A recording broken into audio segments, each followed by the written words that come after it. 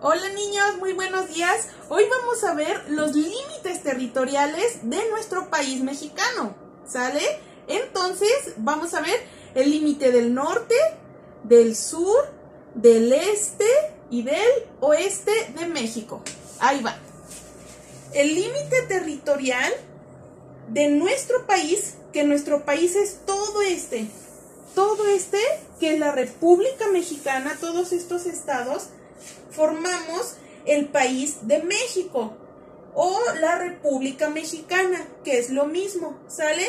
Entonces, el límite de México eh, del norte, acá está el país de Estados Unidos. ¿Qué es lo que nos divide? ¿O cuál es nuestro límite del territorio? Es este que aquí. El río Bravo nos marca el límite de nuestro territorio, o sea que Estados Unidos ya no nos pertenece. Eso significa límite, que hasta ahí nosotros podemos pasar. Entonces, el límite del norte se llama este río que va por Tamaulipas, Nuevo León, Coahuila, Chihuahua y Chihuahua, sube, sube, sube el río Bravo y este es el río que nos limita México de Estados Unidos.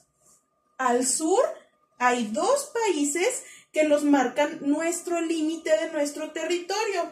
Esos dos países son Belice y Guatemala. ¿Sale? Aquí, Belice y Guatemala son los límites de nuestro territorio, o sea que ya no nos pertenece y, y nos lo marca el país de Belice y el de Guatemala.